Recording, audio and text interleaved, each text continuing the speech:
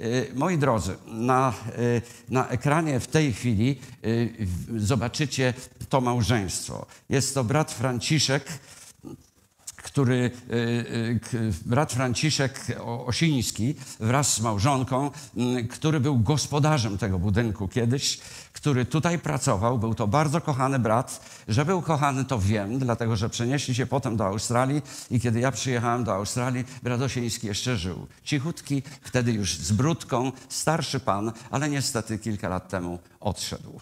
Y, Jego żona jeszcze żyje, jest członkiem naszego zboru w mm, i tam, i tam robi. Brat Franciszek, bo do tego zmierzam przede wszystkim, był ścisłym współpracownikiem brata Emanuela Andersena. Brat e, En- Emanuel Andersen był Duńczykiem y, i wraz ze swoją żoną, która miała na imię Elej albo Ellen faktycznie, ale Elej tak pisano, y, był adwentystycznym misjonarzem, który przybył na tereny Polski zaraz po wojnie. Był bowiem kierownikiem tak zwanej UNRY, Wiecie, że zaraz po wojnie, starsze osoby by- być może pamiętają, y, pomoc dla Polaków dostarczana była regularnie i to w postaci paczek tak zwanej organizacji UNRWA, które przypływały.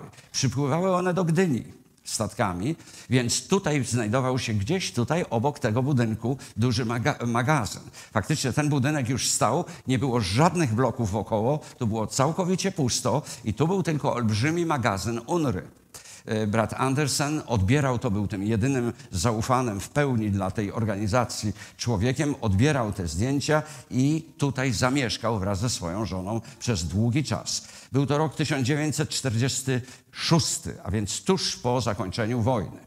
Y, Teraz na tym zdjęciu y, widzicie, moi drodzy, y, y, brata Osińskiego jeszcze, to ten młodszy w czapce, a obok niego stoi pastor Babienko. Był to jeden z przewodniczących naszego kościoła w Polsce na krótki czas po wojnie. Był oddelegowany z Ameryki, przyjechał tutaj, aby kościół tym, tym kościołem pomóc zarządzać i zgromadzić ten kościół z powrotem, który w czasie wojny, oczywiście ze względów oczywistych, gdzieś się rozpierzchł po całym kraju. Y, Na tym zdjęciu macie w tej chwili brata Andersena wraz z jego żoną Ellen.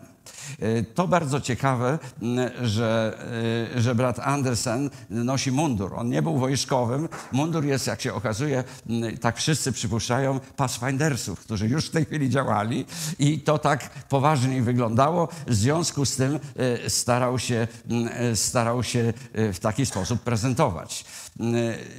Tak jak mówiłem, te paczki UNRWA docierały do Polski głównie ze Skandynawii, poprzez Skandynawię, chociaż one docierały z Ameryki. I mamy tutaj właśnie braterstwa Andersenów, którzy pracowali niezwykle ofiarnie. Tutaj byli ukochanymi członkami tego zboru, byli bardzo zaangażowani we wszystko. Brat Anderson wsiadał wtedy w ciężarówkę i ciężarówką przewoził te wszystkie paczki i dobra do różnych miejsc. Tutaj macie mm, ciężarówkę, która stoi na podwórzu przy Foksal, e, przepraszam, to nie Foksal, na podwórzu e, w Alejach Jerozolimskich, m, gdzie, gdzie znajdował się nasz kościół wtedy w Warszawie, w Alejach Jerozolimskich. Potem przeniesiony był do Alei Róż, no a w końcu zakupiono budynek przy ulicy Foksal. Faktycznie tylko mm, muszle budynku, bo bomba spadła i wszystko trzeba było tam naprawiać. Mm, Tutaj mamy właśnie, y, y, jak to wyglądało. Tutaj na tym kolejnym zdjęciu mamy mm, znowu braterstwo Andersenów z tą taką ciężarówką, którą jeździli po całym kraju. Mm, Tym razem znajdują się przed zborem w Bydgoszczy. Andersenowie byli bez reszty poświęconymi ludźmi. To niesamowite. Znaleźli się zupełnie w innym kraju, zostawili swoje dzieci w Kopenhadze i przyjechali tutaj, aby służyć.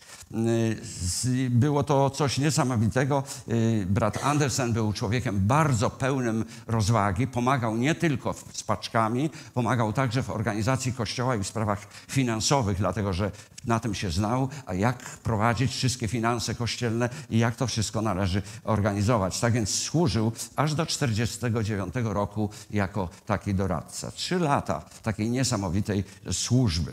My- my- Ja chcę wam powiedzieć, że w lutym 1949 roku miało miejsce bardzo ważne i faktycznie niełatwe spotkanie, które miało miejsce w Kamienicy Śląskiej, tuż obok, to jest dzisiaj dzielnica Bielska Białej.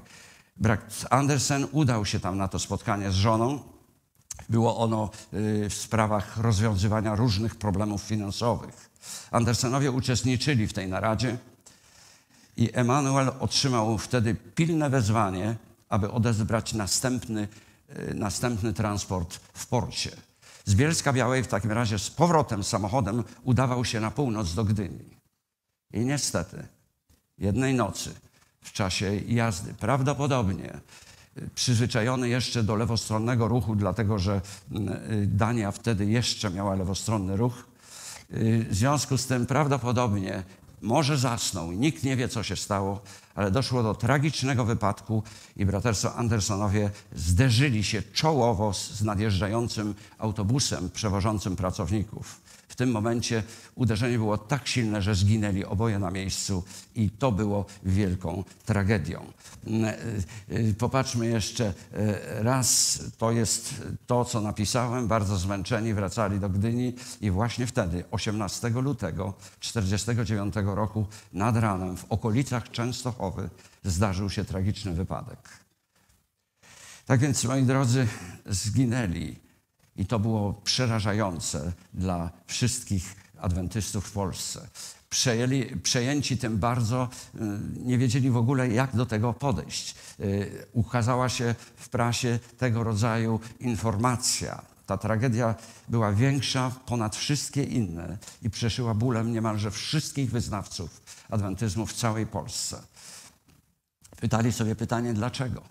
Dlaczego Pan Bóg tak dobrych ludzi, tak służących ludzi y, nie uchronił przed tym wypadkiem?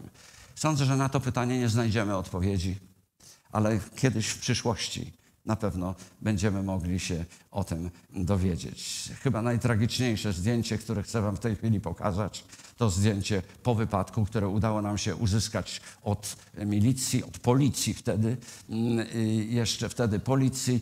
Y, popatrzcie, to jest ten po, lewe, po lewej stronie macie samochód Andersenów, gdzie prawie szoferki nie ma w ogóle, zmiażdżona całkowicie, a po lewej stronie bus, który wpadł. Ten kierowca autobusu także zginął, natomiast y, reszta ludzi przeżyła, no ale było to straszne, straszne zdarzenie, które przejęło wszystkich i to naprawdę w niesamowity sposób.